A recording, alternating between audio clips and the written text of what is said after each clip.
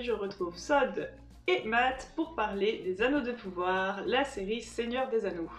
Pour la saison 1, et ce qu'on peut dire c'est que ça a fait couler beaucoup d'encre. Ah, c'est- le cas de le dire, effectivement, euh, beaucoup d'encre euh, partout, partout. Tout le monde disait que, ou en tout cas, ont beaucoup dit que la série, euh, la saison 1 était ratée. Était, euh, il n'y avait rien à en tirer, que ce soit dans les écrits de Tolkien, que ce soit dans le respect de l'univers, ou que ce soit dans le scénario, dans les retournements de situation, l'écriture des personnages. Il y a beaucoup de choses qui ont fait jaser. Est-ce que c'est mérité pour la série? C'est Eh bien, ce qu'on va se demander. Je dirais que dans un premier temps, et après on en parlera, mais pour moi c'est vraiment qu'on a un clivage entre le grand public et les fans, les Mm. fans qui attendaient cette série, et là clairement le grand public a bien aimé, et les fans, c'est une autre histoire. On en parle tout de suite. Cette vidéo est séparée en plusieurs chapitres. Alors on a énormément de choses à dire. Là on tourne cette petite partie de vidéo à la fin parce que on a vu le, le, le nombre d'heures, de minutes qu'on a passé à parler. Donc Presque évidemment... aussi long que cette série en fait. Oui, on aura peut-être presque plus raconté de choses. en tout cas, on a la critique juste après. N'hésitez pas à naviguer euh, dans, le, dans le chapitrage. En tout Selon cas- ce qui vous intéresse et de quoi vous avez envie de parler. ouais. Tout simplement. En tout cas, nous, on vous laisse à la vidéo. C'est parti. On se retrouve donc pour une review qui cette fois-ci n'est pas à chaud.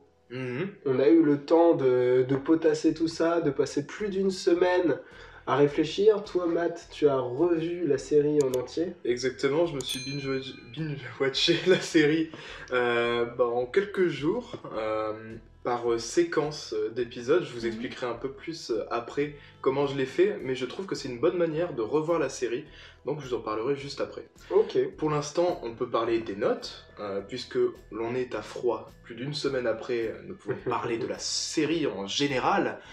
Donc, pour des notes hallucinées, on est sur une note de presse de 3 sur 5 et une note euh, de, de, de- de Spectateur. spectateurs, oui, de, de spectateurs, de 3 également. Donc sur 5, donc c'est vrai que sur Allociné, des notes égales qui sont euh, dans la moyenne, un peu au-dessus de la moyenne, et c'est assez euh, déroutant au vu de toute la, toute la polémique, on en parlait juste avant, qui a fait parler. Je trouve que ça résume bien parce qu'il y a énormément de conflits, des gens qui aiment, des gens qui aiment pas, mais toujours avec des positions euh, très fermes et. euh, Je trouve que ces notes hallucinées résument bien euh, ce clivage. Et il y a un parti pris aussi avec Allociné qui commence à noter à partir de 0,5.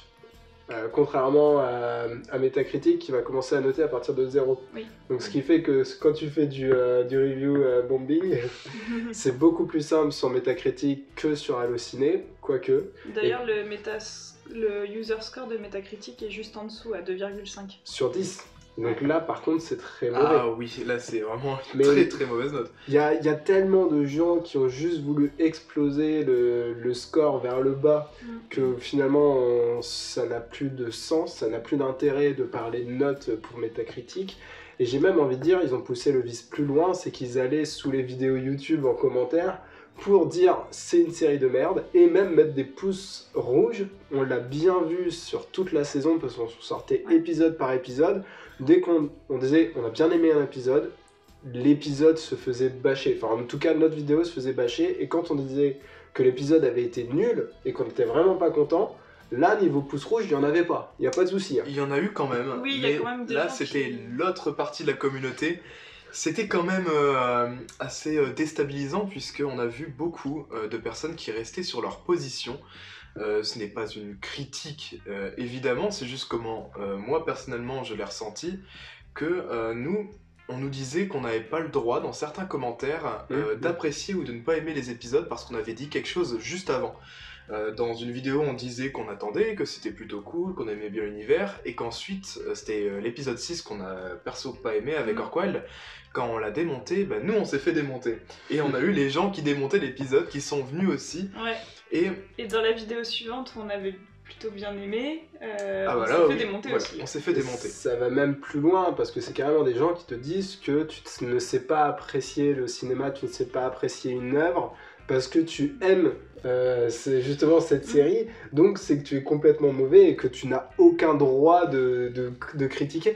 Et c'est assez fou parce que nous, ça nous touche parce qu'on on fait une review, donc forcément il y a des gens qui vont pas être contents, mais il y a carrément des commentaires de gens qui répondent à tes commentaires en disant si tu as aimé, c'est que tu es une sombre merde. Et waouh, on n'avait pas vu ça depuis Obi-Wan Kenobi la série et la trilogie, la dernière trilogie Star Wars. Oui, ah oui, donc Et- c'est c'est quand même dingue de se dire. euh, bon, c'est un problème plus général, et là on en fait que en parler parce que ça nous touche directement nos, nos vidéos, et que nous aussi ça nous a un peu touché. Nos critiques, quand on les fournit, ce n'est pas sur euh, la base, euh, par exemple, euh, de suivre ou ne pas suivre la masse. On essaye toujours, avec Orquelle et Saud quand il est là, de livrer notre avis sans embâge et euh, sans euh, essayer de, euh, De maquiller et ou Voilà. de plaire. Si on a aimé, on a aimé. Si on n'a pas aimé, on n'a pas aimé. Mais on dira jamais. euh, Puis ça n'a pas de sens. Dans ce cas-là, on arrête de faire des vidéos si on veut juste suivre la masse et dire ah c'était génial quand la plupart des gens adorent et puis l'inverse. Dans ce cas-là, on arrête, on, on, on fait plus nos vidéos. C'est clair. Mais ne nous éloignons pas du sujet principal. Quelle était donc cette saison 1 de Seigneur des Anneaux? Était-elle si bien que ça? On vous livre notre avis et cette fois-ci, et comme d'habitude, ne vous inquiétez pas, on ne se bride pas. Si jamais on est content, on vous le dit. Allez, dis-nous tout, Orquide, qu'est-ce que tu as pensé de cette saison? Ah oui, c'est moi qui commence? Ah bah, Elle a- tu elle- tu l'as balancé dans le grand bain. euh, il faut à un moment donné. Non, non, mais d'accord, très bien. Je... je me sens un peu trahi, mais ok.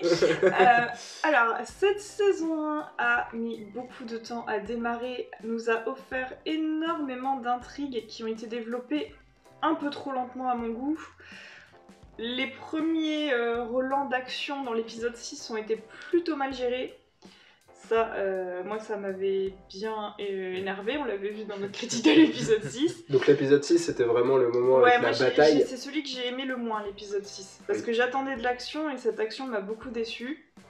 Après, les épisodes 7 et 8, je les ai personnellement bien aimés. Euh, j'ai trouvé qu'ils donnaient une belle conclusion à toutes les intrigues, qu'on avait enfin euh, de l'action bien gérée et tout ça. Donc plutôt l'après-bataille, finalement les conséquences de ce qui avait pu se passer. En tout cas, on a découvert un Nadar qui était assez fort. On a découvert finalement d'autres euh, d'autres intrigues avec les elfes et les nains. Où on était plus sur une conclusion d'intrigue, oui. Et euh, du coup, moi, ce qui m'a vraiment gêné, c'est le rythme du coup de cette saison que j'ai Mm, trouvé mm, euh, vraiment mal géré globalement. Parce que euh, toutes les intrigues étaient bonnes, j'ai beaucoup aimé les personnages, euh, sauf l'interprétation de Galadriel, mais bon, ça c'est un autre problème. Euh, sinon, j'ai beaucoup aimé les personnages, toutes les intrigues qui étaient proposées, mais je les ai trouvées mal gérées en termes de tension et. Vous voyez ce que je veux dire? De, de trop long et ensuite tout explose, mais je pense que si ça avait été beaucoup mieux géré sur toute la saison, cette série aurait pu être géniale. Et là, il y a eu beaucoup de moments où je me suis ennuyée dans les premiers épisodes. Hum, hum. C'est un très bel avis que tu nous livres, très complet en tout cas. On va pouvoir revenir sur certains points, notamment le rythme des épisodes qui me semble pour moi être l'un des plus grands symptômes de cette série. Tout simplement, quand on nous commence euh, cette série, cette Mm. saison, avec euh, deux épisodes tonitruants qui nous ramènent euh, avec panache dans la terre du milieu, avec ses musiques, avec ses personnages qu'on nous balance, ses CGI à foison, Ah, Ça, les musiques Et- sont bien tout le long. Oui, Même dans long. les épisodes euh, trop longs, les musiques sont toujours bien. Et Exactement, l'univers est, toujours sauve euh, un beau, les images toujours très bien traitées. Ah oui, mais Ça, y a rien à dire. de toute façon, si tu te mets, euh, tu te mets à côté, que tu écoutes tranquillement la bande originale, elle est juste folle Ah, finalement. Et euh, j'avais bien aimé cette bande originale parce que contrairement à Seigneur des Anneaux, tu as vraiment des thèmes. Là, tu retrouves ces thèmes, mais tu as aussi des morceaux. Alors, comment expliquer ça? Tu as des morceaux qui sont des variantes des thèmes principaux. Par exemple, tu as le thème Galadriel, tu as le thème euh, l'étranger, t'as le thème des etc. nains, Voilà, t'as le ça. thème euh, de, de Sauron, t'as le thème des hommes des terres du sud. Et ils reprennent les mélodies euh, principales qu'il y a dedans et ils en font des variantes pour pouvoir les insérer à des moments bien particuliers avec moins d'action, plus d'action, etc. C'est pas mal du tout et c'est ça un cachet. Parce qu'on on peut adorer les musiques de Seigneur des Anneaux, le problème c'est que quand t'entends pendant deux minutes des papillons qui crépitent avec une musique toute douce, tu t'embêtes un peu. Tu sens que c'est de la bande originale pour un film et que c'est là pour appuyer quelque chose, alors que là, vraiment, tu sens l'attention. Enfin, Oui. il y a, il y a vraiment une différence de, sur la musique et c'est grâce à notamment. euh, Bear McCrory, mais oui, mais quel, euh, quel compositeur quel oui. compositeur. Et ça, c'est à souligner. Mais sur la saison 1, ce compositeur aura été vraiment un banger, mais vraiment incroyable. C'est lui qui a fait God of War, Oui. en termes de musique. Mhm. S'il a pas fait le jeu tout seul, hein, vous.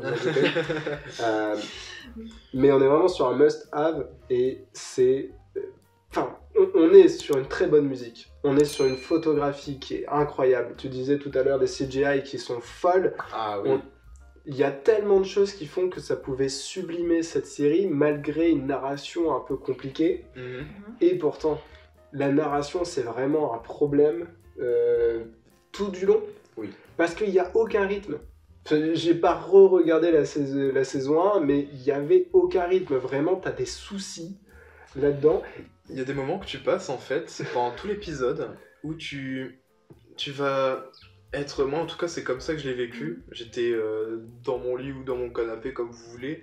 Reprenez-le comme vous voulez. J'étais tranquillement assis, je regardais l'épisode. Et certaines fois, c'était long. Mm. Pour que des personnages euh, fassent un peu de, de- de leur poésie habituelle du Seigneur des Anneaux. Et euh, c'est bien quand euh, les personnages ont un charisme et quand il y a euh, une véritable prestance pour Ouais. porter la série.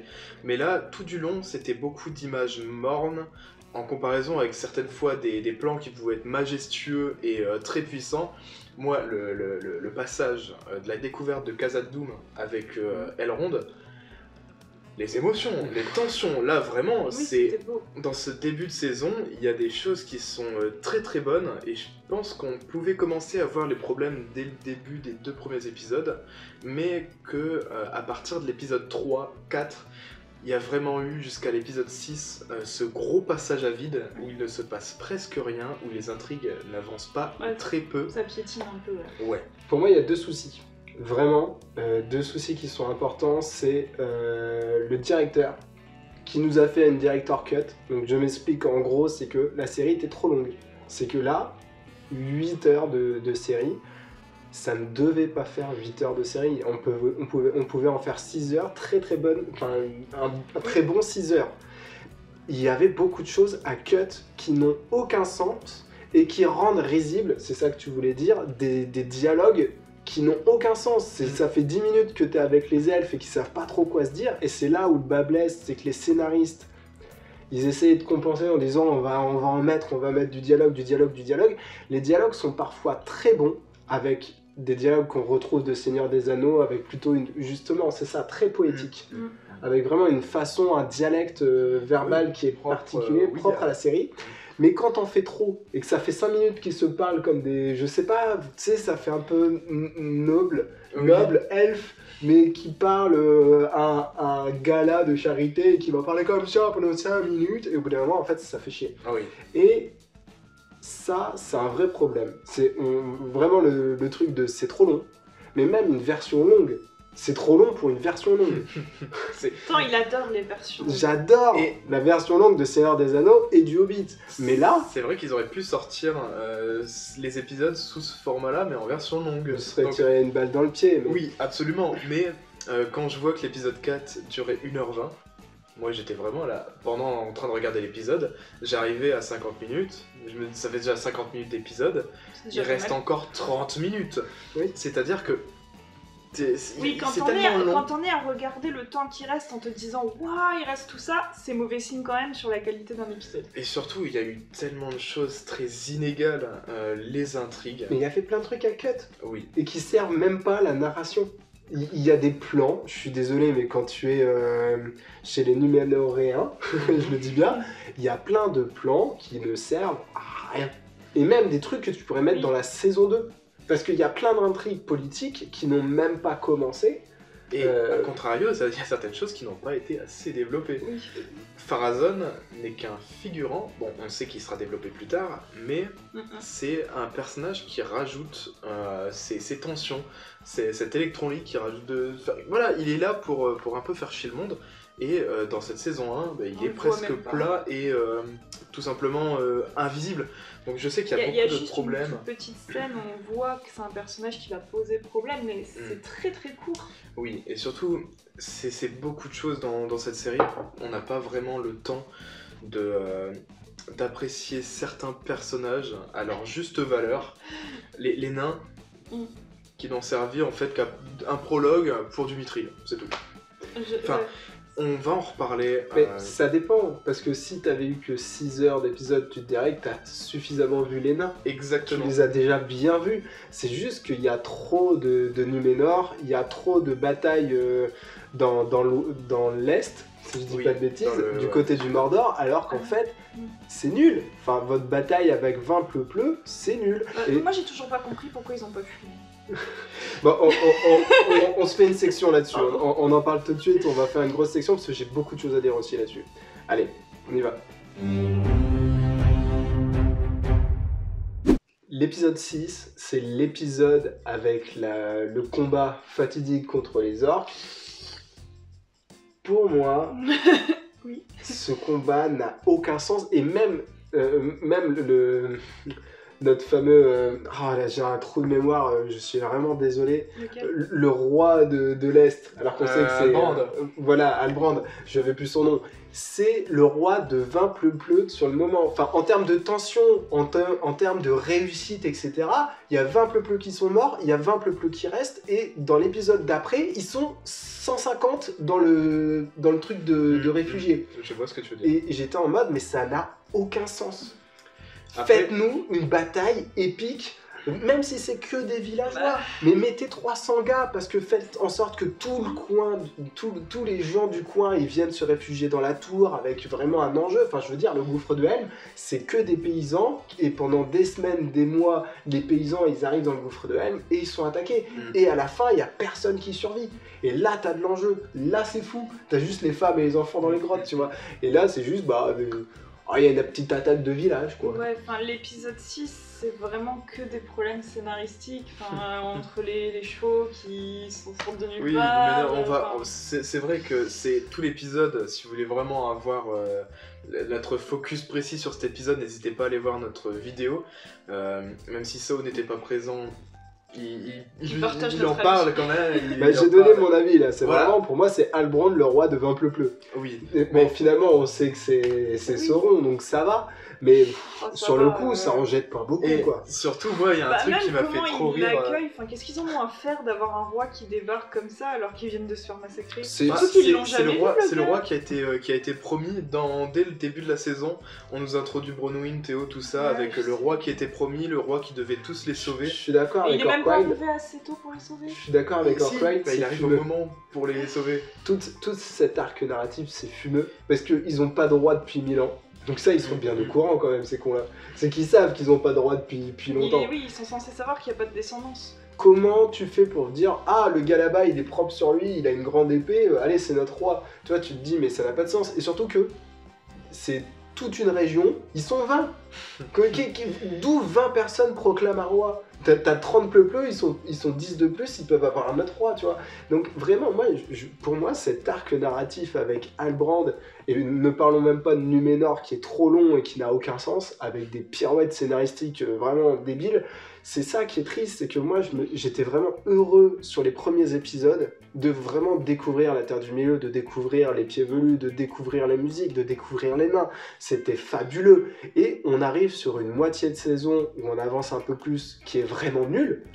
Mais c'est terrible. Mais Et- c'est terrible, mais on s'en rend pas compte. Quand, oui. on, quand on passe 2-3 premiers épisodes qui sont super cool, Oui, très de notre avis, et que euh, à chaque semaine, on se disait Ah, bah, pff, l'épisode il s'est pas passé grand chose, mais on- la et semaine prochaine, il va sûrement se passer quelque chose. Et on le sait, il va y avoir une grande bataille. Mm. Bon là, on se dit, ah, quand même, dans le premier, ils nous font euh, les Urukai qui attaquent euh, la Les communauté. Non, les, ce sont des Urukai dans le, dans le premier, qui attaquent la communauté de l'anneau.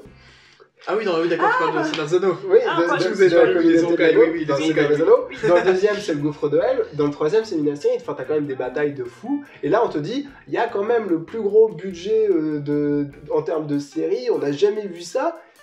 T'as fait un pleu-pleu dans un village. Voilà, c'est pour ça que je suis énervé. C'est- Ça n'a pas de sens. Après, Après, Quand tu prends, moi je, je, je hein. sais que j'ai revu la série, donc les, les 20 pleu je- j'ai vu ce qui se passait, euh, et l'impression, je la partage pas vraiment parce que au début, euh, quand ils arrivent dans la tour, tu as vraiment cette impression qu'ils sont énormément. Ah, ils sont 50. Un peu Non, plus pour moi, ils sont vraiment un peu plus. plus, Il y a ces 150, questions 200. sur la nourriture, tout ça qui, qui est amené, parce qu'il n'y a pas assez de, de nourriture pour tout le monde, il y a encore des gens qui arrivent. Mm, mm. Et à un moment, il y a cette scission où la moitié part avec euh. Et euh, bah là, on peut imaginer en fait, ils se sont fait euh, buter.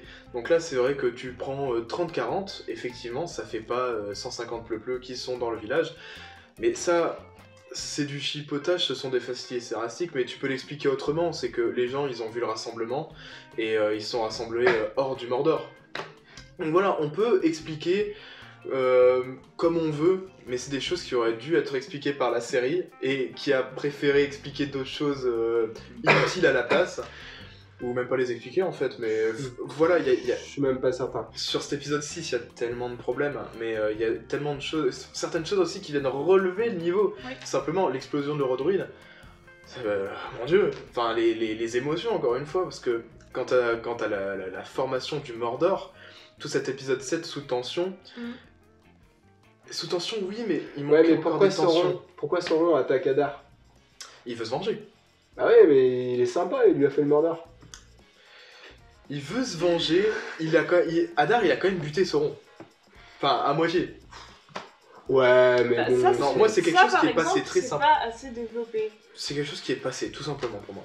C'est Ouais. c'est pas assez développé, mais ça sera pour la saison prochaine. Je sais pas, parce que oui, Albrand c'est Sauron et donc euh, il, veut se venger contre Hadar, mais Hadar lui a quand même livré sur un plateau d'argent euh, le Mordor avec un ciel, euh, un, ci- un ciel comme il faut, etc. pour ensuite il conquérir le monde. il veut surtout euh, protéger euh, sa petite famille. euh, Bah, il y a vraiment, en fait, l'épisode 5 sert uniquement à euh, montrer le basculement de euh, Halbrand en tant que forgeron à euh, Sauron, euh, le conquérant.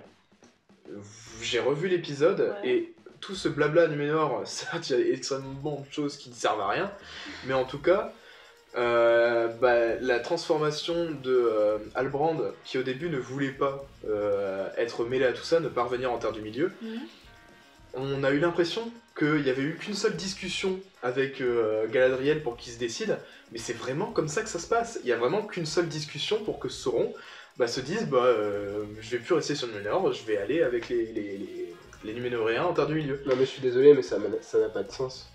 Ça a du sens sur toute la saison. Je, je pourrais en parler très longtemps. Parce que y a, ça fait du sens Ouais, tu peux nous résumer en 3 minutes parce que on est un peu limité en temps, ça va être euh, un peu compliqué, mais sinon on fait une petite pause juste maintenant et je vous en parle.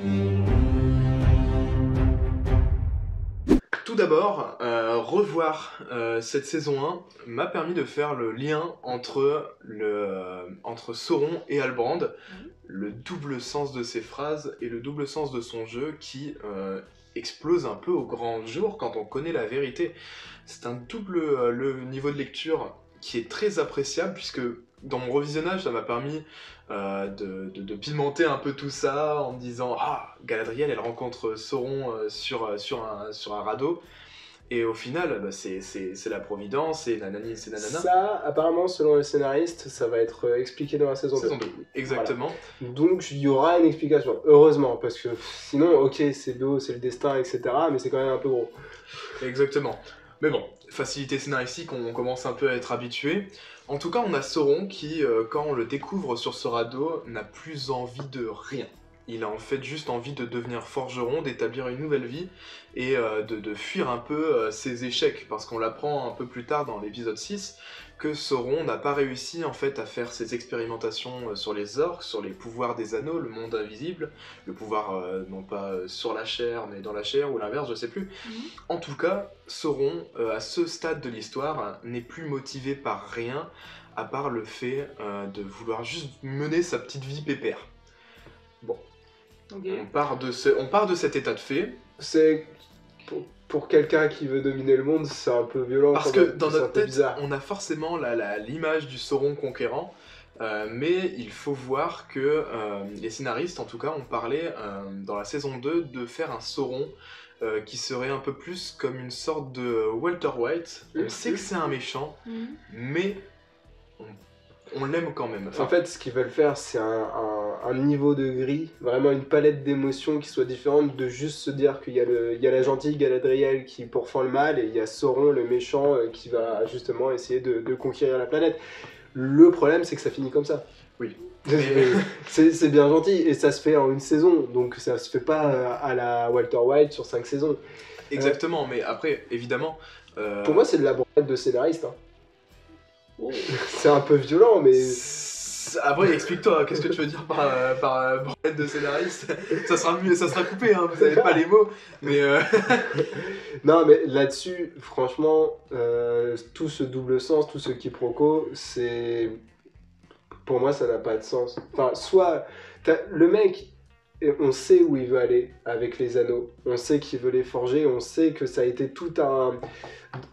En dehors de la série, dans les écrits de Tolkien, on sait que ça prend du temps, qu'il se fait passer pour, euh, pour des elfes, etc. Que ça se fait pas en deux jours, la création des anneaux.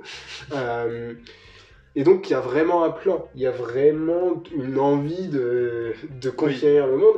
Et là, on tombe juste sur un mec, et, ouais, il est déprimé, quoi. C'est ça que tu nous dis, il est déprimé, il a, il a envie de changer, euh, de changer de vie. Donc il voulait faire sa vie bah, après, euh, c'est, sur ça, ça ménard. dépend aussi de, l'implication quand, dans- par rapport à, notre, à cette série. Forcément, on est déçu, donc on va avoir un peu de mal à s'impliquer, mais si on fait l'effort, je trouve qu'il y a un sens, un, un- un réel sens qui est donné.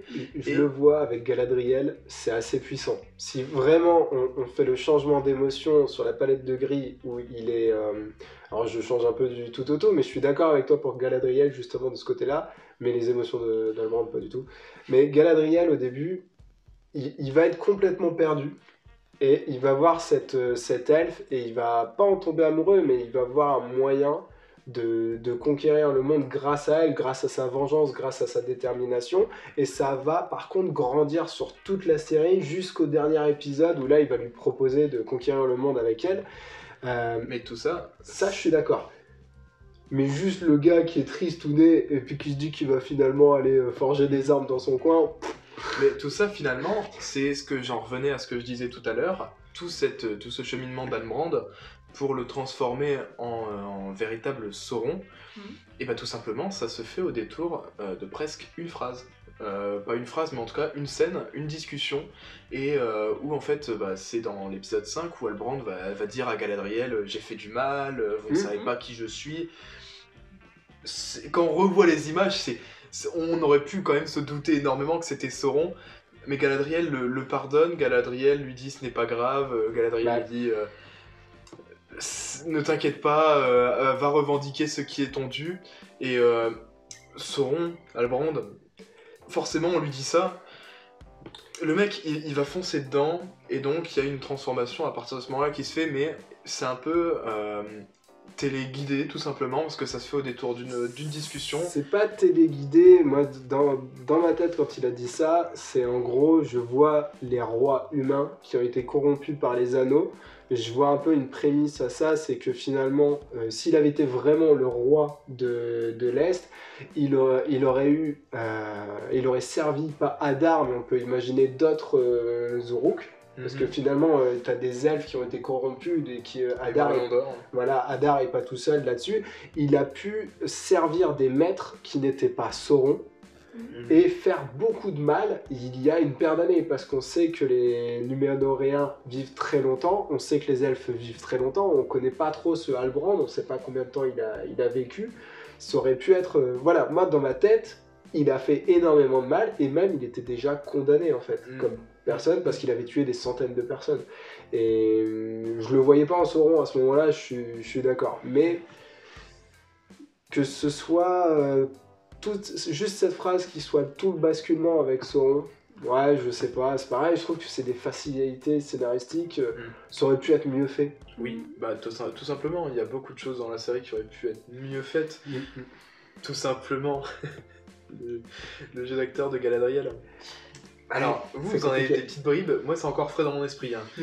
Prenez Galadriel, presque n'importe quelle scène où elle parle, c'est que sa bouche qui parle et elle a le regard fixe. Oui. Sinon, et elle jette peut-être un coup d'œil par là ou un petit coup d'œil par là, mais il y a que sa bouche qui parle. Enfin, c'est usant. Enfin, vraiment, c'est quelque chose, moi, qui, en revoyant la série, ça m'a ça m'a presque fait sortir de mes gonds. De... Juste, quand elle s'énerve, on, on a peut-être un petit truc, mais sinon, le reste du temps, il y a rien. Oui, quand elle s'énerve, ses pommettes s'étirent un peu. Oui. Et du coup, elle a deux, trois expressions énervées. font, euh, Oui. Mais non, non, euh, c'est un, c'est un massacre. C'est- un calvaire, un Je l'ai j'ai- dit depuis le début, j'ai du mal avec. euh, Bah, sincèrement, on avait du, du mal, mais en revoyant les images. J'ai du mal aussi avec Algrande. Euh, on- t'as, t'as- t'as certains, certaines mimiques, certains trucs, certains sourires, certains regards qui, qui sauvent un peu le truc, mais À, à la fin, il est exceptionnel. oui, À la fin à la fin, ce, ce jus de dupe est euh, Mais même, il- là, on le laisse en totale liberté dans son jeu d'acteur. euh, et c'est exceptionnel. Mais surtout, toute la série, justement, t'as cette sensation de faux semblant, de l'acteur qui est pas très bon, qui parle avec euh, très poétique comme l'elfe, Oui. euh, comme Galadriel. C'est en, en- Parce que ce sont des phrases avec euh, très peu de sens, qui résonnent comme une question sans réponse, euh, comme font les elfes en fait en temps Oui. normal. Mm. Et tu te dis, bah ouais, c'est bien, mais moi je comprends rien. Alors, euh, c'est cool. Mais tu sais, ils se posent en, en- que des questions. Euh, que feriez-vous si jamais vous, auriez, vous auriez conquéré l'Est? Ah, bah je ne sais pas. Au final, j'aurais pas été intéressé, je serais devenu forgeron. Oui, mais abandonner tous ces hommes, vous y avez pensé? Enfin, au bout d'un moment, quand ça fait trois quarts d'heure qu'ils parlent comme ça, Oui, oui, c'est relou. exactement. Bah après. pff. Donc, euh, c'est un des problèmes de la série, quoi. C'est, c'est tellement dommage de- d'avoir tous ces problèmes qui. Et on en rigolait, on disait que c'était le Aragorn. Oui, qu'il avait vraiment la tête de Bah, il l'emploi. avait vraiment le, la tête de l'emploi, le petit air ténébreux au Et début, le méchant, le, le gentil, pas vraiment complètement gentil. Et le tempérament. ouais, euh, totalement. mais qui s'énerve. Parce que t'as quand même un moment où il va fracasser 3 ou 4 gars, Ouais. et tu te dis, ah, il y, a un- il y a un truc chaud. Et moi, c'est pour ça, ça fait Ouais, il se partie. fait bien euh, attaquer à ce moment-là, moi ça m'a pas choqué. Ouais, ouais, ouais, ouais, ouais, mais il s'énerve. Tu sens que c'est pas un personnage. Justement, que c'est un personnage qui a plusieurs euh, personnalités, qui a plusieurs palettes d'émotions, qui cache, qui renferme ce qu'il est. Ça, on le découvre très très vite, mais je sais pas, c'est pas bien fait. Enfin, j'aurais beau développer et développer, pour moi, on a un vrai problème là-dessus. hein. C'est toute la phase avec Numénor, etc. Et pourtant, il y a des choses qui dénotent et qui font entrevoir certains rayons de soleil. Oui, c'est beau. Donc, on va en parler juste après. Bon, je fais l'avocat du diable, je détruis la série, mais il y a aussi des passages que j'ai adorés et qui vraiment sont exceptionnels pour moi et ça ne change pas. Les pieds velus, Mhm. l'étranger, euh, tout ce qui est les elfes avec les nains. Il y a beaucoup de choses qui sont géniales, même si on les voit pas assez. Mais je suis désolé, mais quand tu vois le roi discuter avec. euh, Ah, j'ai le, plus- le- le roi, lequel? Le roi des elfes Parce que Le le roi des nains, le roi des Oui, c'est vrai, le roi des elfes. euh, J'ai j'ai plus son nom. Gil-galad. J'ai- pas potassé les noms, je m'en souviens plus depuis deux semaines. Il y a un dictionnaire là. Il y a Gil-galad. Et finalement, avec Elrond, il y a vraiment des discussions qui sont exceptionnelles. Quand le roi des nains vient euh, chez les elfes, Le nain du Rhin. Ouais, du oui, Rhin. le roi des. Enfin, C'est le prince du Rhin. c'est le prince, c'est Oui. vrai, parce qu'il est pas encore roi. Maintenant c'est son père. C'est ça. On a vraiment des scènes qui sont exceptionnelles et je les trouve vraiment très bien faites. Et pareil, l'étranger avec les pieds velus, toute l'histoire des pieds velus, même si c'est pour le coup c'est très long. Ils prennent leur temps, mais là ça m'a pas dérangé une seule seconde. C'était exceptionnel parce que les, les hobbits, les pieds velus, c'est toute une partie de l'histoire de Seigneur des Anneaux. Ça a toujours été central et c'est très poétique d'une autre façon que les elfes. Et oui, quel plaisir, Et quel ça- plaisir les avec pieds velus, oui, on parlait tout à l'heure de la musique, mais la, la musique des pieds velus sert totalement euh, c'est- cette intrigue qui, pour moi, est peut-être la plus belle, euh, un petit rayon de soleil dans, dans toutes ces ténèbres. Et ça fait du bien, euh, je trouve, de poser un petit peu son cerveau et de juste profiter de ces petits êtres innocents.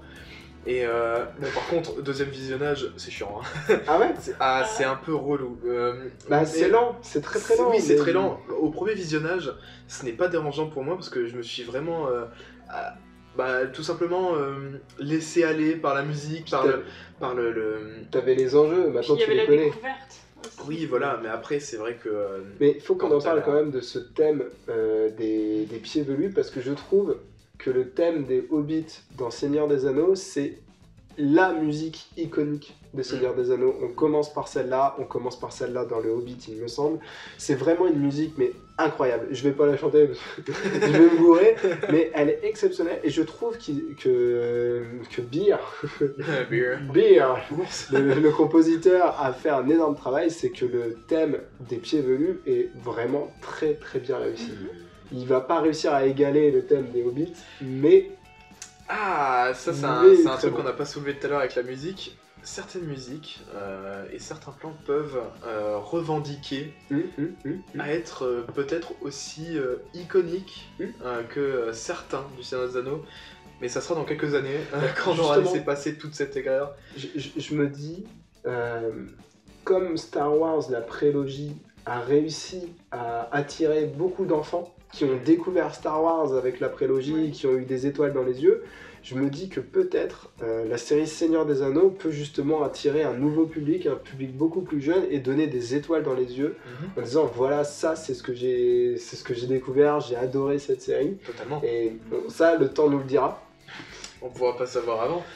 Mais Ouais, je sais pas, ouais, si tu peux bien euh, découvrir l'univers à partir de cette série. Ça peut être un point d'entrée euh, plus euh, récent euh, pour euh, toutes les personnes qui euh, n'ont pas vu le Seigneur des Anneaux, qui le voient comme des œuvres euh, de, de très longtemps. Évidemment, je parle de personnes qui ont peut-être euh, 10 ou euh, maintenant. 10-15 ans, moi je te dirais. Ouais, et ouais, c'est ouais. surtout que la beauté, enfin, on a vraiment, c'est très beau. Les musiques sont très belles, tu t'émerveilles, tu tombes dedans, tu peux rester en extase, en extase pendant plusieurs heures. Vraiment, moi, ça peut être le coup de cœur de, bah, de la prochaine génération et de se dire waouh, c'était incroyable. Après, bon, Oui, ils n'ont pas vu la suite. hein. c'est vrai que effectivement, quand la prélogie de Star Wars est sortie, il y a eu beaucoup de critiques aussi euh, des fans-fans du... Exactement. des premiers épisodes, euh, qui- et ça a fait couler beaucoup d'encre aussi Bah, à l'époque. Jar Jar Binks a été un vrai problème pour les fans plus vieux et pour les enfants, ça n'a pas été un souci. Bah, je peux vous le dire parce que j'ai grandi avec ces films. euh, Oui, bah pareil. J'avais quoi, un ou deux ans quand ils sont sortis. Et c'est c'est qu'en les voyant euh, comme, des, comme des films cultes, quoi. Quand on allait regarder Star Wars, c'était aussi bien euh, du 4 au 6 que du 1, 2, 3 aussi. C'était des, des, des choses quand même. Bon, peut-être pas pour toi, mais moi je sais que. euh, C'est très 2 personnel après. le, le 2 et le 3, le 1 peut-être un peu moins, mais le 2 et le 3, j'en garde mais tellement des bons souvenirs quoi. Enfin, C'est- Oui, c'est- c'est- c'est très personnel. hein. voilà, c'est très personnel. Après, on va pas faire une critique de Star Wars, mais ce que je veux dire, c'est que sur Seigneur, sur Seigneur des Anneaux, les Anneaux de pouvoir, on peut avoir ce même sentiment, on verra bien ce qu'il en est. En tout cas, oui, il il y, a une chose sur laquelle on n'a pas encore discuté, euh, c'est les fans absolus, Bah, aigris de la série. après Je voulais- déteste cette série. Je voulais, on, on a fait que 5 minutes euh, de, parler de bien sur la série, et il reste des trucs à dire, je pense. Vas-y, vas-y. Donc, garde, ton sujet est très bon, mais je pense qu'on peut encore euh, parler de certaines choses qui sont bien dans la série. Et un truc que j'ai beaucoup aimé, c'est euh, l'amitié Elrond Durin, Oui, qui est à l'écran et trop trop bien euh, pendant euh, ces épisodes. euh, bah, déjà pendant le premier visionnage euh, jusqu'au deuxième, la relation a toujours très bien marché. Et là encore, il y a euh, beaucoup de choses que j'aime bien. euh, la chaleur et euh, le, le bon entrain des nains qui est très bien montré avec Disa et Durin qui sont quand même des bons vivants. Durin, il a des mimiques quand Elrond est censé partir du, repas qu'ils ont eu et que Durin il fait un petit sourire en coin et qu'il sourit comme ça. Ça, ça fait ressentir de bonnes émotions, c'est des bonnes ondes. Bah, un truc simple, c'est très Seigneur des Anneaux. Bah oui, voilà. C'est cette complicité entre. euh, tu vas avoir un, un Legolas, tu vas avoir avec un. Oui, un, un Gimli. Voilà, c'est ça, j'ai du mal avec les noms aujourd'hui. Euh, incroyable, mais j'ai rien qui sort. Mais oui, cette relation entre Legolas et Gimli, qui est une relation particulière et qui se forge au, fi- au fur et à mesure, parce qu'au début ils peuvent pas se piffrer, oui. Voilà, c'est ça. Et ça, on l'a pas parce que là, il y a déjà une amitié, mais il y a ce petit souci au début Mhm. qui font que le, que le nain est très énervé. Oui, oui, oui. Et c'est- et c'est euh, très comique. Toutes ces parties avec les nains est à la fois majestueuse et très comique. Mais ça, il n'y a aucun problème, c'est du Seigneur des Anneaux. Ouais, totalement. Moi, ça a été validé direct. Et- y a pas de problème. Et c'est un des trucs qui a bien marché parce que bah, ils sont pas sortis des sentiers battus pour nous proposer Et les acteurs sont bons. chose. Oui, Oui. ces acteurs-là sont très bons, ils sont expressifs. Ça dénote avec le reste. Et le ronde, je me demande encore si il est venu. Bien sûr, il le dit qu'il est venu par ambition euh, à Casa de Doom, mais euh, je sens qu'il y a peut-être aussi un truc derrière. Avec Elrond, on n'est jamais fixé, Mm. et c'est ce que j'adore avec le personnage, c'est que tu sais jamais quand il est sincère ou pas, quand. Ah, il l'est toujours. Non, je pense qu'il y, a- il y a des moments où il est pas sincère du tout. Si, toujours. Mais c'est ça qui en fait un très bon. En fait, Elrond, c'est un très bon diplomate. Ah oui. Ce qui fait qu'en fait, il est toujours sincère. C'est juste que, un peu comme euh, ah, d'autres séries, etc., où tu vas mentir par omission. Tu vois, il y a certaines choses que tu vas pas dire, mais si t'en parles pas, c'est pas mentir. Il va peut-être pas, C'est un mentir, très bon diplomate. mais c'est un, oui, un bon manipulateur. Hmm, c'est ça Exactement. Mais toujours avec passion, toujours euh, avec. euh, Enfin, moi, je l'ai jamais trouvé euh, méchant. Non, c'est ça, il n'est, il n'est jamais avec malveillant. Ouais. Il, il a toujours des intentions bienveillantes. Ouais, c'est ça. mais euh, C'est Elrond, quoi. c'est- C'est le, c'est le Elrond qu'on a connu. ah, le, le Redmond qu'on a connu, il était plutôt sage et euh, plutôt en retrait, mais euh, c'est une nouvelle facette du personnage que Bah, on découvre. Il devient plus Gilgalad. En quelque sorte, oui. Euh, Mais c'est ça qui est bien fait, c'est qu'il Mm. y a quand même de très bonnes choses. Et les acteurs, vraiment, mais les acteurs, Durin et Elrond, Elrond, on a un petit peu du mal au début, on fait ouais, il a pas la même tête quand même. c'est assez particulier. Mais ouais, le jeu d'acteur est exceptionnel, Oui. Durin. Exceptionnel aussi, mais il n'y a rien à dire. Enfin, il- pourtant, il est bardé de barbe, hein, de, de, de- Non, Mais de pourtant, pilosité. il arrive à être Il est plus parfait. expressif que Oui, oui, Galadriel. Exactement. Voilà, est-ce que ça, c'est un problème de, euh, de laisser euh, plus de place aux acteurs euh, Est-ce que c'est une histoire d'alchimie Mais c'est simple. C'est que quand tes acteurs principaux sont pas bons, ça se ressent tout de suite. Mm, mm. C'est le problème. Et bon, Albrand, il a été bridé, mais Galadriel, c'est un vrai problème. Bon, espérons qu'au moins elle va essayer d'avoir un peu plus de jeu dans cette saison 2. Ah, elle est pas mince, elle est pas morte. non, je sais, je sais. Tu sais, C'est vraiment le mec qui a rien compris à Seigneur des Anneaux. Ah, mais elle est dans Seigneur des Anneaux. Ah, Ah, oui, ah, Ah, c'est elle dans la forêt. Ah, Ah, les elfes des bois, j'avais oublié, putain, merde. mon dieu, quelle mauvaise langue. Allez, on continue. Tu as encore plein de bonnes choses à nous dire, je pense. Oui. Elle va faire combien de temps cette vidéo? 4 heures? On n'a pas encore parlé de l'étranger. Il y a quand même beaucoup de choses à dire. Est-il Gandalf? Est-il un mage bleu? Est-il un bon acteur, finalement? Est-il Saruman? Je sais pas. Fred, euh, dis-nous tout. Qu'est-ce que tu en as pensé de cet étranger, de ce combat qu'on a, et qui est même plus intéressant que le fameux combat avec 20 pleu dans un village? Oui, totalement. Bah, moi j'ai bien aimé cet étranger, euh, l'acteur m'a pas posé de problème, je l'ai trouvé convaincant, bien, il, il joue bien le, le mec perdu au début, qui découvre petit à petit ses capacités, on voit bien les émotions différentes, euh, suis-je péril, tout ça, avec euh, j'apprends à parler en même temps, j'ai trouvé que c'était très intéressant. Pendant tout le début de la série, on se dit est-ce que c'est Sauron, est-ce que c'est pas Sauron? Hum, hum, hum. Il lui balance carrément c'est lui pour après Mm. nous dire bah non c'est pas lui. Ouais. Après, du coup, on découvre que c'est un mage, et là, il y a cette nouvelle question. Il y a beaucoup de petits détails qui ont été mis qui laisseraient penser que c'est Gandalf, notamment toutes ses relations avec les pieds velus et tout ça.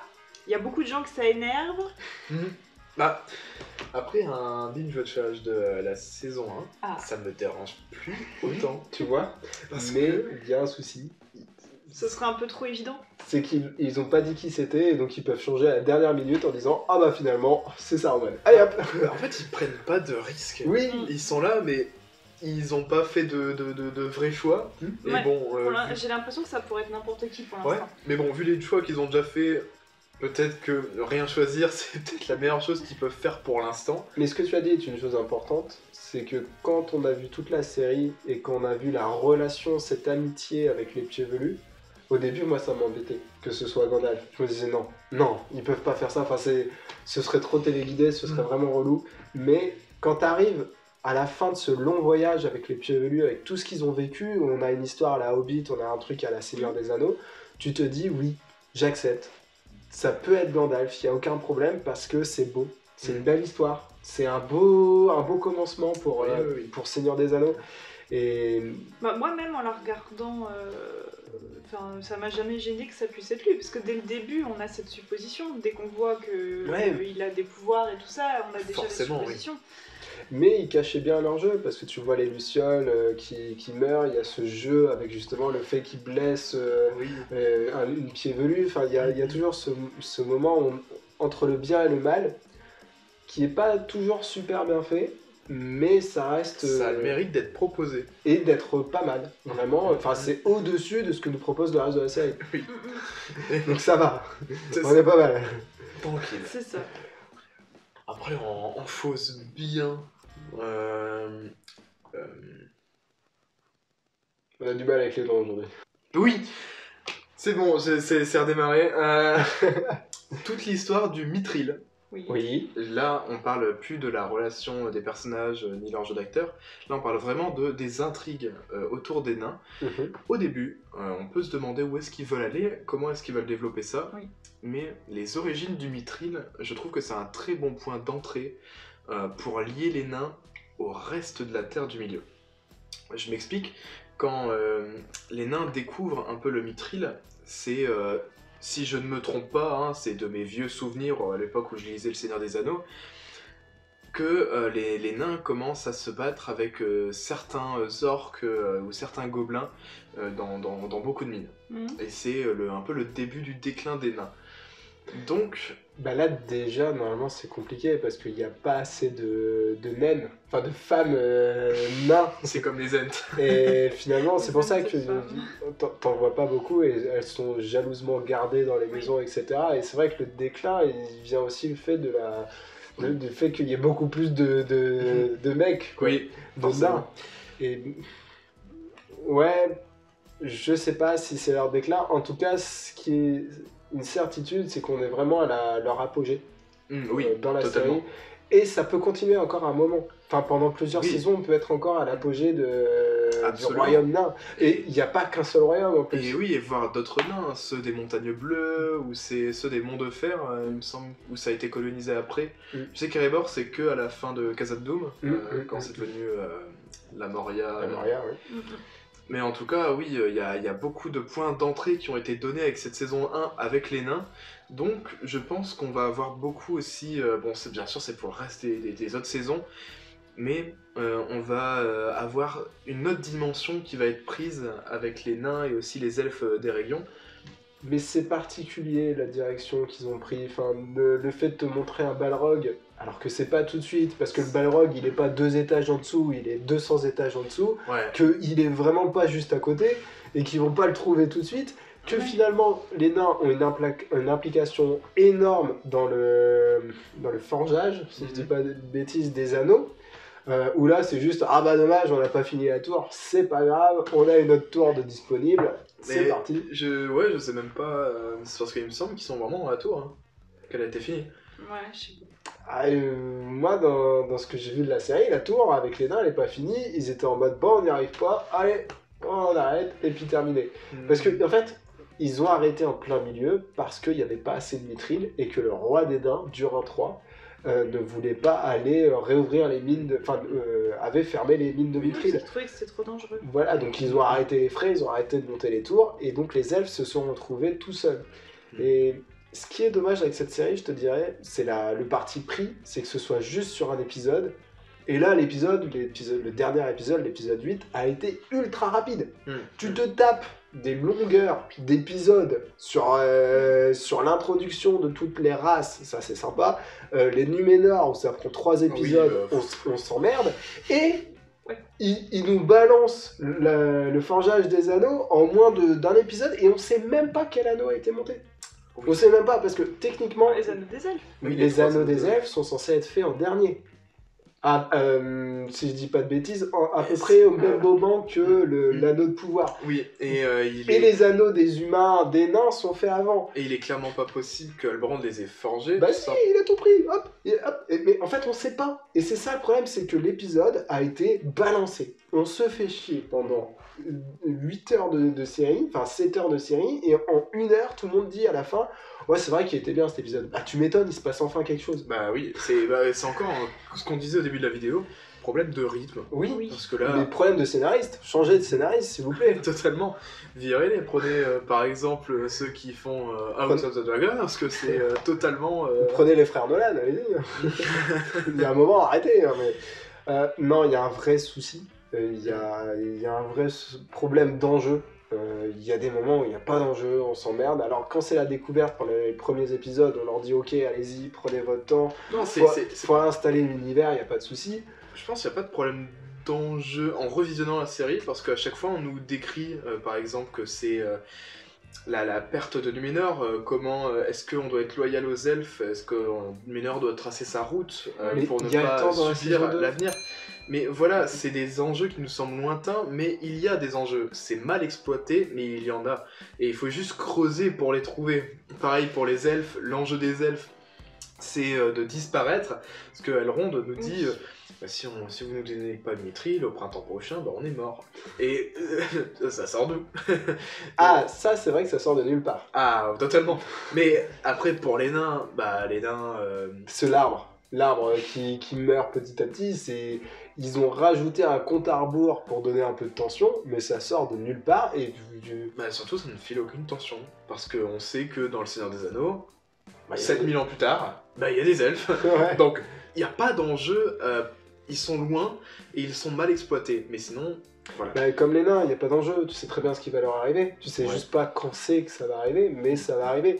Euh, Alors après, il n'y a pas d'enjeu, ça dépend pour qui. Pour les fans, et les fans, euh, ils ont leurs écrits, ils savent de quoi ça parle, et il y a tellement de choses à dire encore. On pourrait passer des heures.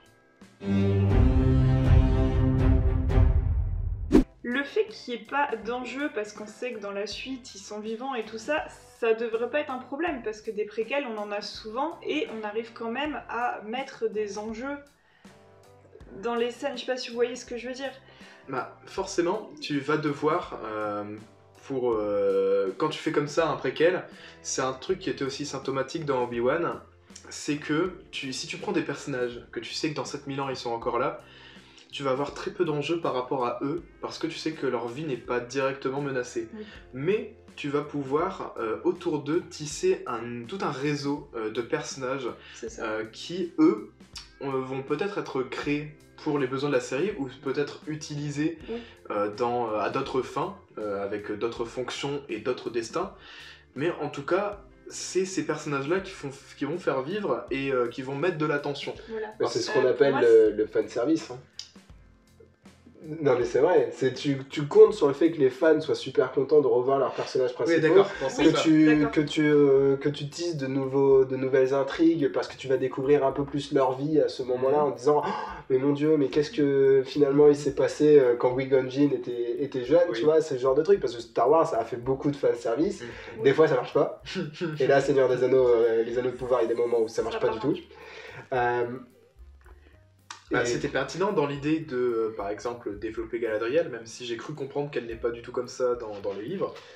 ah c'est pas une guerrière Tu développes Galadriel d'une autre façon, donc tu, tu, tu la fais découvrir un peu. Tu, comme ça, les gens qui connaissent pas trop Seigneur des Anneaux, ils se disent Oh, c'est elle, c'est Galadriel, euh, d'accord, est comme ça quand elle était jeune. il y a des plans sympas, enfin vraiment en termes de caméra, quand on est dans le, le premier Seigneur des Anneaux et la communauté de l'anneau, euh, tu as des plans sur Galadriel où tu as des plans juste sur ses yeux. Euh, Oui. Quand elle est par l'anneau de pouvoir, tu retrouves exactement les mêmes plans euh, dans les premiers Ça, épisodes. ils, ils ont été très bons. Ils ont, il y a des moments de fanservice qui sont exceptionnels. Il y a vraiment des trucs, euh, c'est c'est impec.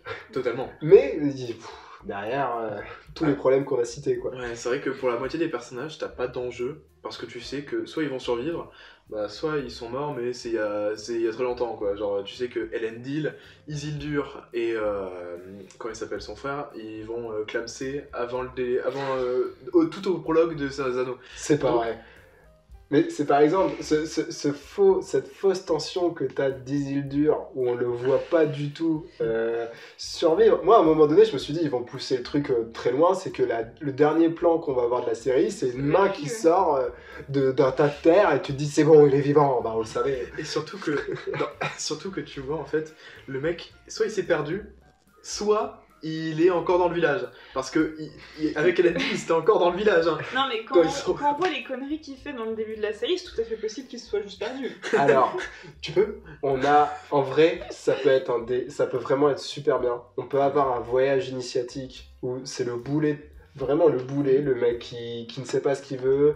Et pour la première fois de sa vie, il prend une décision, c'est d'aller à la guerre. Oui. de voir un de ses potes dire bah moi je rentre au pays euh, je suis pas fait pour ça j'ai vu des gens mourir ça m'a enfin tu, tu vois son pote qui Notamment. finalement dé- décède et tu te dis ah ouais la vie est dure quand même Oui. mince pas de ça, chance ça le va être, karma ça va être un très beau truc à voir dans la saison 2. voilà Parce que je le vois bien naviguer euh, dans le Mordor exactement et euh, rencontrer Albrand. euh, Euh, pas rencontrer mais en tout cas il va devoir un peu à la à la Frodon, euh, devoir passer les lignes avec Sam, euh, Mhm. essayer de vraiment de galérer et ça va être le voyage initiatique parce qu'il va devenir vraiment l'homme Mhm. qu'on découvre au début de Seigneur des Anneaux, justement, quand tu, tu découvres ce qui se passe à la fin du deuxième âge et qui crée le, le début du troisième âge. Quoi. Bon, par contre, hein, si c'est les mêmes scénaristes, euh, là on se fait des faux espoirs, hein, parce que sinon on va avoir juste euh, une scène de 3 minutes où on voit euh, Isildur chevaucher euh, Beret comme ça euh, dans le Oh Mordor non oh et non, sortir. Oh non Oh non, pitié. Non, Mais oui, je- c'est possible. Je vois bien, en tout cas j'espère, en tout cas Isildur se- s'échapper du, du Mordor par la passe de Minas Morgul, de Minas Ithil, Qui est pas encore construite, qui n'est pas encore construite mais qui va être construite par euh, Isildur et son frère euh, Anarion. Ah oui. Et euh, pourquoi pas avoir ce petit voyage de Isildur qui va euh, aller sur les actuelles terres du Gondor et se dire bon, ça peut être sympa. Ouais, il y a moyen de se faire un petit truc. hein. Ouais, voilà, parce Ouais. qu'on sait que toutes ces- il, va, il va se passer des choses et qu'on va avoir peut-être Isildur qui va euh, rencontrer donc euh, les marins de Pelargir, donc euh, qui sont Bronwyn, Théo, tout ça, et même euh, l'elfe euh, Arrondir. Après voilà, ce sont des suppositions sur la saison 2. Et puis il est le seul à être resté avec quelques soldats par-ci par-là, mais du coup il peut, je sais pas, Prendre euh, leur tête. euh, bah pas prendre leur tête tout de suite parce que c'est un peu pleu hein, comme la plupart des gens. c'est clair. Mais en tout cas, faire acte de bravoure, sauver certaines personnes, devenir quelqu'un d'important. Et quand son père revient, ils se disent Ah ouais, mais c'est mon fils. Et en plus, il est devenu ultra badass, quand même. Ça, c'est mon fils, quoi. Et, mais on en vient à Elendil, Ah, elle a qui a été exceptionnel sur. Qui a rattrapé, je te dirais, tous les l'épisode. Tout début de la saison. Ouais, voilà, Au c'est ça. début de la saison, il a été celui qui a porté Numénor Exactement. et euh, à la fin, il s'est effondré quoi. Enfin, le dernier épisode, ça va, parce qu'il bon, il y a une petite romance Il a été avec euh, Marielle. Il a été totalement Mais- éclipsé. Mais quand tu le vois triste ou qui se tourne et qui fait Il y a de la pluie ici, c'est vraiment difficile. Vous avez pas vu mon fils? Moi, ça, ça, ça m'allait, c'est pas ça qui m'a le plus c'était dérangé. terrible. Non, parce que le mec, il a presque jamais fait ressentir d'émotions, ou quand il les faisait ressentir, c'était celle d'un homme très dur qui, qui, qui veut pas montrer ses, ses émotions, et là, juste le fait qu'il se tourne. Ils euh, ont tu sais, pas assez tourné de scène. hein. Je t'assure. hein, ça, ça a été très peu fait, mais enfin, ça c'est très court, c'est trop court, il y a, il y a pas. Ça, ça fait partie de ces moments-là où tu recommences une scène 50 fois en disant ça va pas, ça fait pas vrai, tu vois. Et là, le moment où il pleure et t'as Elendil qui, qui se tourne pour pas que Myriel le voit pleurer, tu vois, je me suis dit rien. non, mon dieu, non, pas lui. Pas lui. Il était bon jusqu'à maintenant. Il tenait à bout de bras les Numénor. Mais oui, t'as tellement de choses qui vont pas avec euh, Numénor, hein, tout Mais simplement. la romance Myriel-Elendil, moi ça me va. En vrai, politiquement et tout ça, ça peut amener des trucs sympas parce que vraiment la sédition de Elendil qui va commencer à prendre le pouvoir, j'étais en mode c'est un peu gros quand même. Mhm. Mais si tout est une question d'intrigue politique, d'arrangement, de finalement de, de romance, mais qui. Ça peut être sympa. Mhm. Après, euh, c'est avec nos fameux scénaristes, on va voir ce que ça donne. Oui, hein, oui, que- oui, hein, parce que bon, on va avoir encore une, une, une Bronwyn, euh, une Bronwyn à rondir euh, au niveau du de la romance. euh. Ça, c'est pas mal. En vrai, je te dirais que c'est pas, c'est pas ça qui a cassé la série. C'est pas ça qui a cassé la Bah, série, on mais les c'est un des voyait symptômes. pas énormément non plus. eux. C'était pas central, mais c'est vrai que Bah, leur histoire que- d'amour. euh, Mais quand vous prenez Seigneur des Anneaux, vous avez pas énormément d'histoire d'amour. Non. Donc en fait, c'est une nouveauté. C'est Oui. plus de la poésie dans les histoires d'amour parce que on a cette, euh, ce Aragorn et euh, Oui, ça- je ça- vois ça- ce que ça- tu ça- veux ça- dire. la fille d'Elrond qui s'y sont promis, tu vois. euh, Mm, mm, qui c'est très poétique et on a avec le retour en, en Terre des Hommes de euh, la, la fille tu sais du Rohan. Mon dieu, tu sais c'est- l'inverse. Même là j'ai plus les noms aussi. Ouais, mais euh, en fait, il y a tellement de noms et là, il faut qu'on les sorte du tac au tac. euh, Oui, et surtout qu'on est obligé de penser à beaucoup de choses euh, à côté. Et puis, on chronique tellement de séries que ça fait tellement de noms. euh, C'est fou le métier de youtubeur. hein. Vraiment, de, de chroniqueur, c'est assez fou. On n'y pense pas. Ouais, non. Moi, ce que j'ai envie de te dire, c'est que la romance Aragorn avec sa nana, c'est. On la découvre. Elle existe déjà depuis très longtemps. Parce qu'ils sont déjà amoureux depuis très longtemps. Même, euh, même son papa, euh, Elrond, il est au courant depuis longtemps, si tu veux. Oui. Et donc, à la fin, quand ils se marient, euh, bon, ça va, tu, tu es au courant. Là, on a vraiment une romance qui commence, qui débute, Mm. avec un elfe qui sait pas trop comment faire euh, pour, euh, bah, pour faire le premier pas Mhm. une, euh, une femme humaine qui comprend bien qu'il n'y a pas de souci, donc je parle de Browin.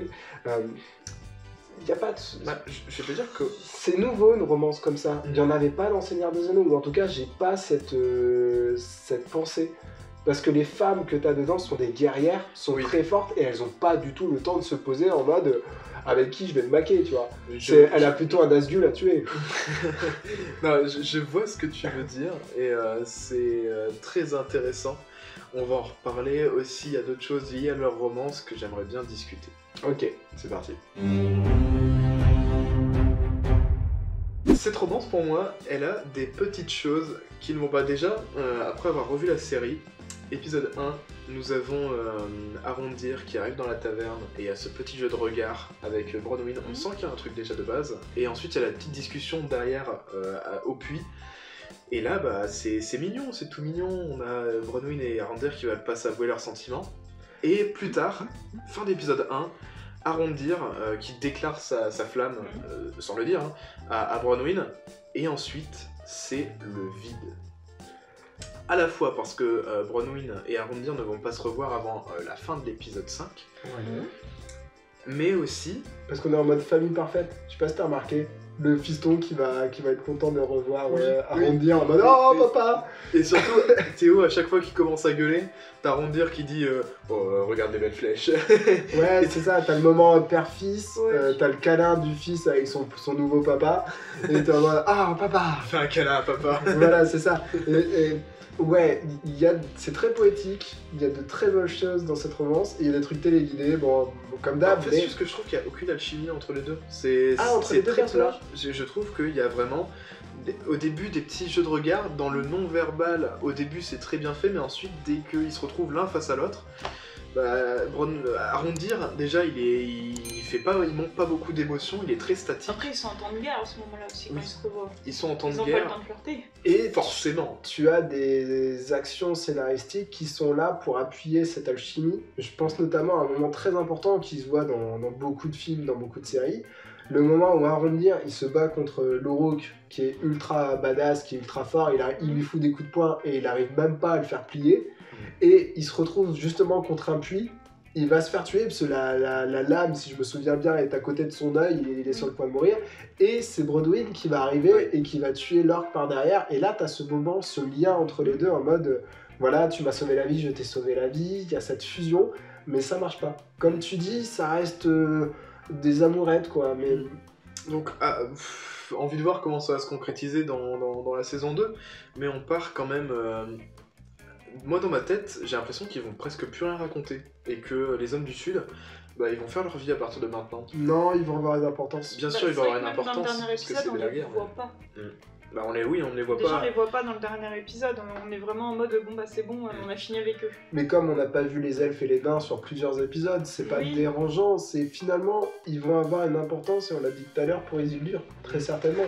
Oui. Parce que il faut bien qu'il aille voir des alliés.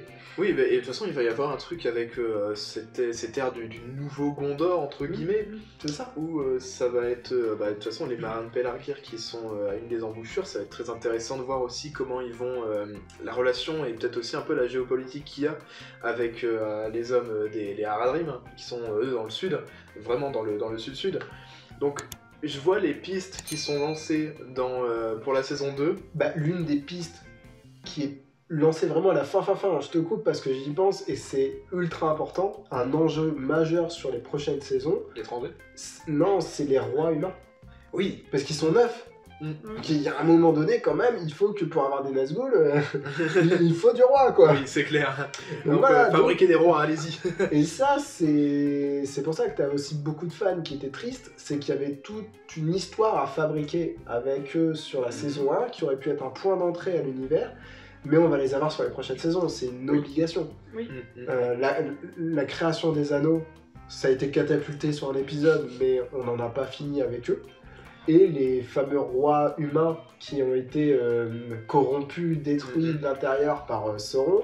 On a les rois nains. Qui sont-ils euh, les, ces rois humains? Oui. Si on peut se lancer vite fait dans quelques suppositions. euh, bah, De toute façon, moi je vois déjà. euh, On n'en connaît pas beaucoup. hein. De base, dans les écrits de Tolkien, si je dis pas de bêtises, on en connaît deux ou trois. Mm, Trois Numénoréens et ensuite le reste ce sont d'autres hommes du Sud, euh, enfin des autres hommes en tout cas. en Ouais, donc on a très peu d'infos. Donc là, ça va vraiment être de la nouveauté. Oui. Vont-ils se foirer? On verra bien.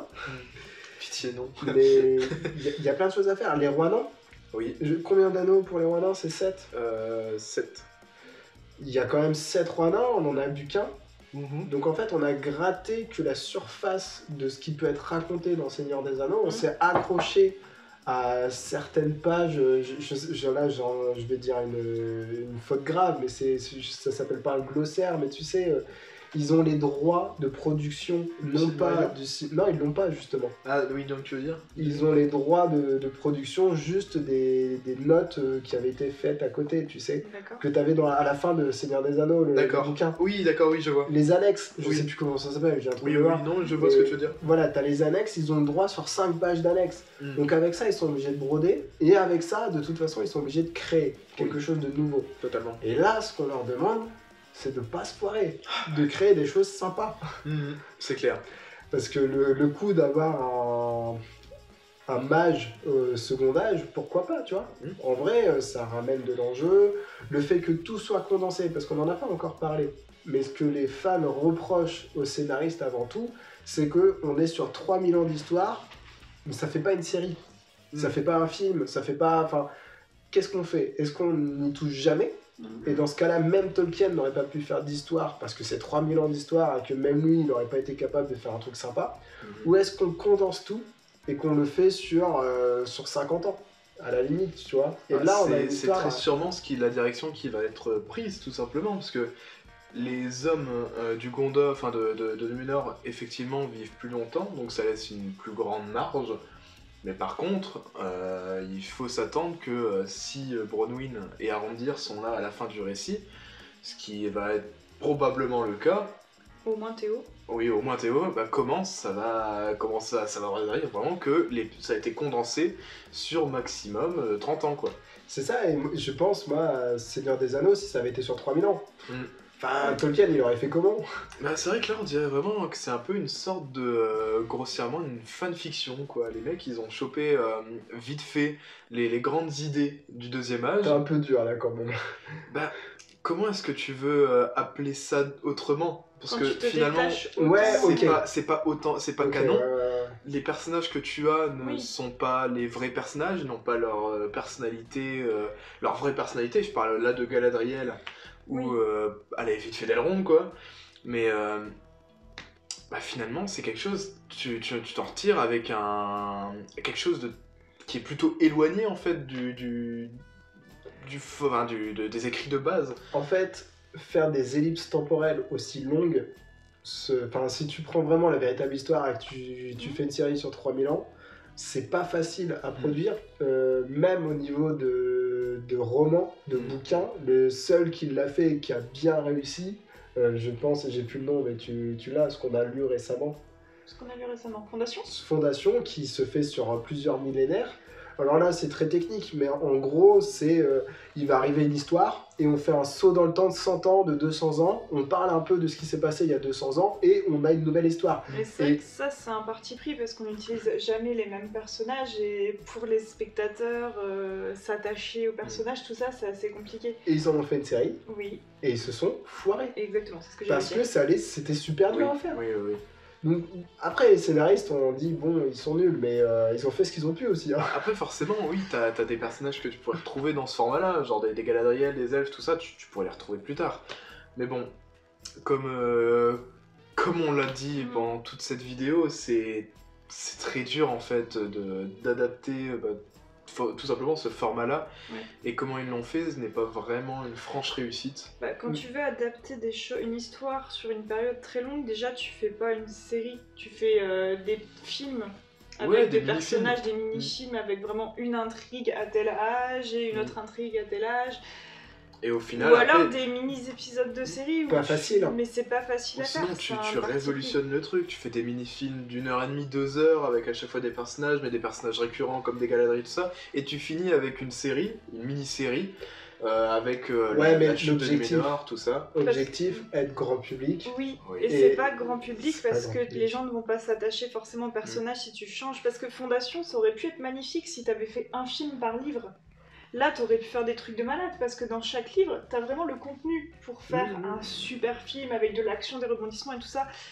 Mais euh, ils ont eu peur que le public, comme là, ils ont peur que le public ne s'attache pas. Bah déjà, Fondation, c'est de la SF, donc déjà public de niche. En plus de ça, tu fais des sauts temporels de ouf, ça va pas. Donc voilà, il y a beaucoup de choses qui sont compliquées pour les scénaristes. Enfin bref, il y a un moment donné quand même, je suis désolé de le dire, il faut conclure. Oui, parce que déjà cette vidéo va faire une heure et demie. Voilà, c'est ça, c'est... on a perdu la majorité des gens déjà. Oui, mais de- tout simplement, il y aura un chapitrage hein, pour cette vidéo, euh, j'espère. Oui, Oui, bah oui. oui. Ou de tout simplement, euh, bon, puis on fera euh, un truc comme ça en début de vidéo où on parle, on vous indiquera qu'il y aura un chapitrage. Mais, Mais- voilà. Quoi qu'il en soit, c'était mitigé quand même cette série. Oui. Il y a des Beaucoup choses... de déception. Mais Ouais, de la déception. Moi, c'est comme ça que je la retire cette série.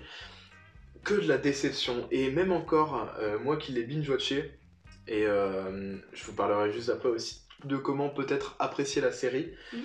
Même en la binge-watchant, c'est très long. C'est euh, des choses qui ne sont pas vraiment très intéressantes.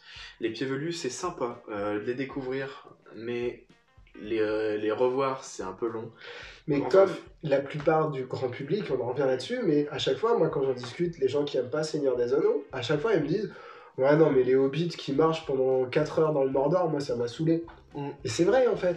C'est, la plupart des fans te diront Oui, mais ça permet de montrer l'apogée, les discussions euh, entre Sam et Frodon qui reviennent, qui, enfin, qui reprennent la Seconde Guerre mondiale quand ils sont. Enfin, il y a plein de trucs qui sont géniaux dans Seigneur des Anneaux, mais ça ne parle pas à tout le monde.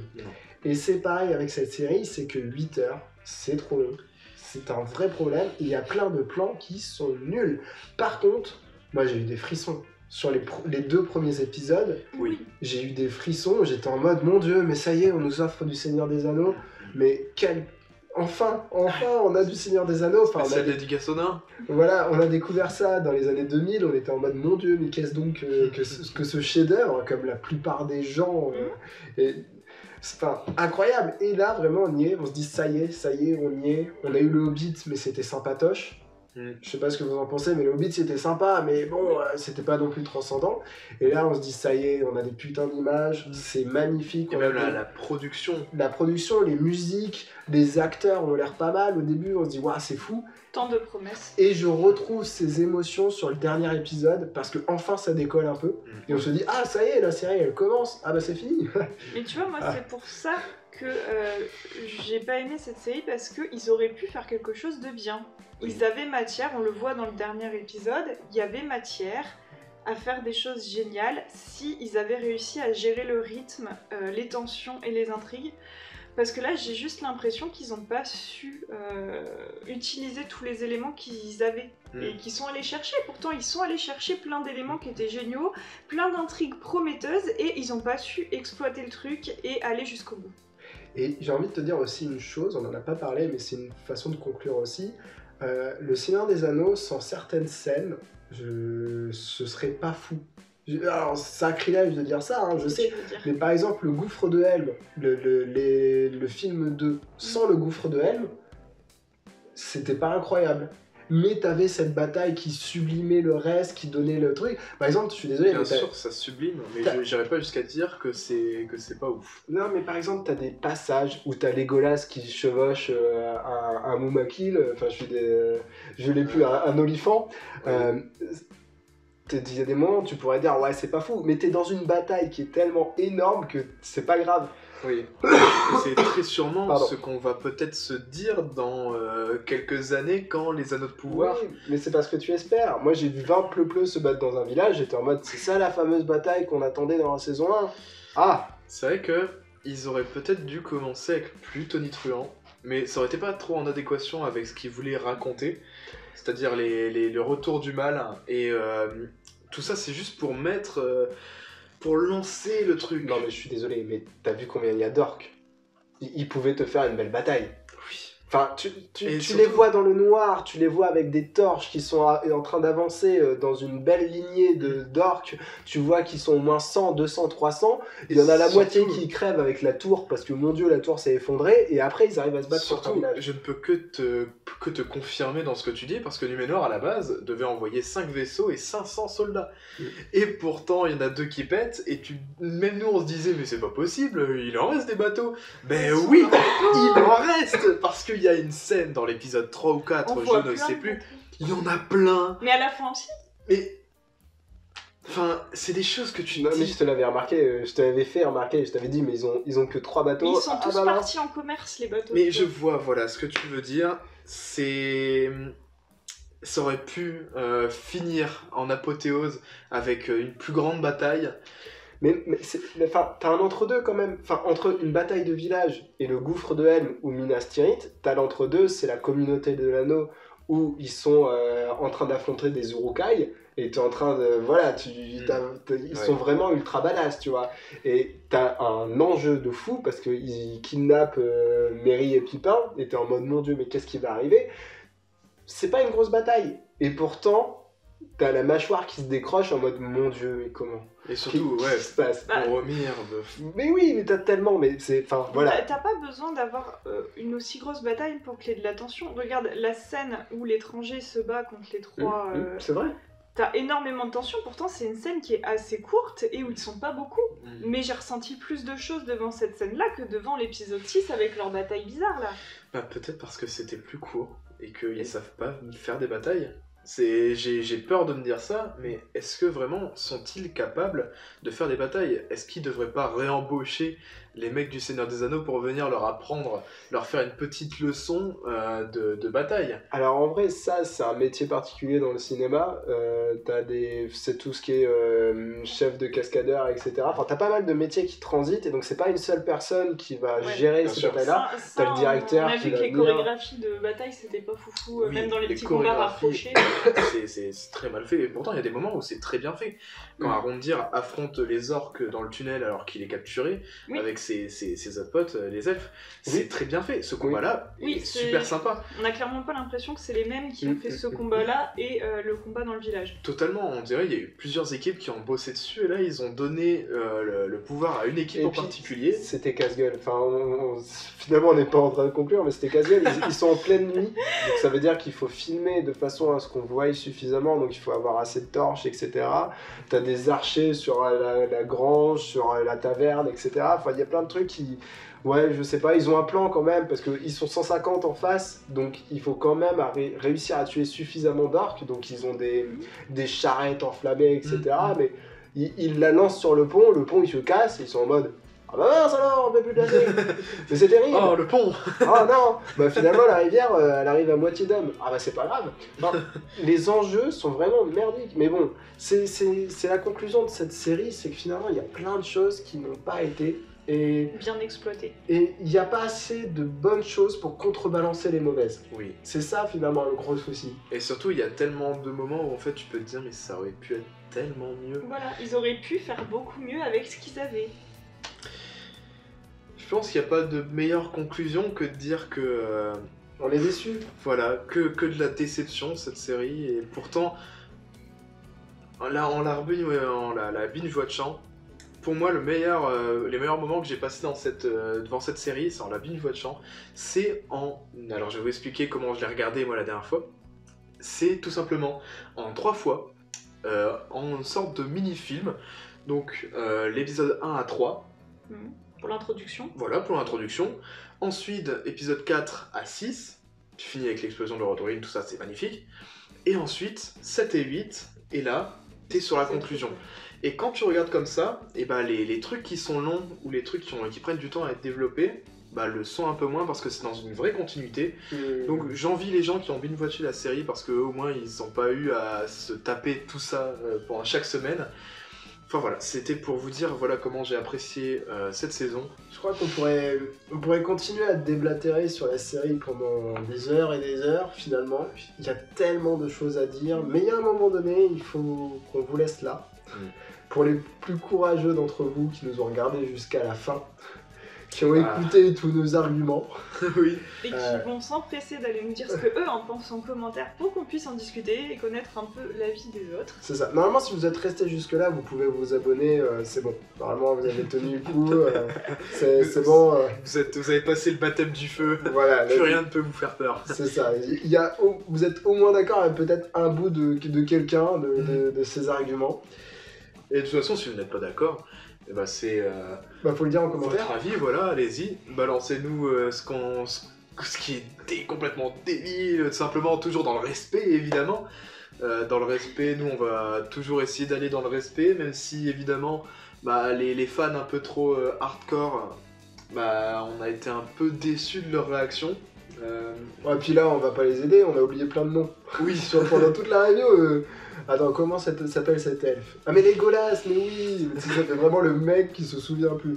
Mais là, ça fait trop, il y a, des- il y a trop de choses à dire. Bref, Enfin voilà, nous euh, on a adoré euh, chaque semaine revenir pour euh, soit encenser, soit démonter, soit partager notre déception de cette saison euh, 1. Puis on en attendait tellement, enfin vraiment, Tellement c'est. On adore Seigneur des Anneaux, enfin c'est c'est monstrueux. Moi, c'est c'est une partie de ma vie, Seigneur des Anneaux, hein, clairement. Et bon, on a bon espoir pour la saison 2 d'avoir quelque chose de correct. voilà, c'est ça.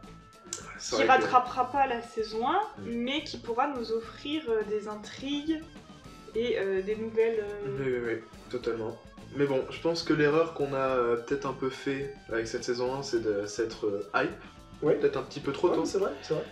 Et bah là, tout simplement, jusqu'à euh, la prochaine saison, dans 2, 3, 4, 5, 6 ans, prenez, votre, Pitié, non prenez votre temps, Non, Mais. Non, surtout- quand même, quand même. pas de hype, euh, il faut, je pense que euh, il faut qu'on reste mesuré et qu'on se, qu'on aborde la prochaine saison euh, avec beaucoup de recul, parce que là, sincèrement, la, la déception est trop grande pour moi. Pas on devrait être content dans tous les cas, parce que là, on part vraiment déçu euh, à la saison Oui. 2, donc euh, ça devrait le faire. Ils vont nous offrir de beaux plans, et puis bon là, ils ont la pression quand même. Ouais. Ils ont, oui, oui. Mais bon, un bon, un bon coup de pression. Là, je pense que Jeff Bezos, il va peut-être rajouter un peu euh, au porte-monnaie pour recruter de, de- de plus de personnes sur le projet. Mais tu vois que ça suffit pas. Oui, Tu vois que l'argent, parce qu'il y avait l'argent un ne suffit pas. sacré budget quand même. Mm, mm. Et c'est pas avec ça qu'on fait les meilleures séries finalement. Non, bien sûr. Mais bon, c'est avec des bons scénaristes et apparemment, faut les attirer. Mais il y a un moment, il faut qu'on arrive à conclure. Ouais, Qu'on qu'on vous dise au revoir. On sera là pour une prochaine vidéo, hein, c'est juste que ce sera pas du Seigneur des Anneaux avant un petit moment. Ouais. On vous laisse. Prenez soin de vous. À la prochaine. Ciao. Faites votre deuil. T'es triste.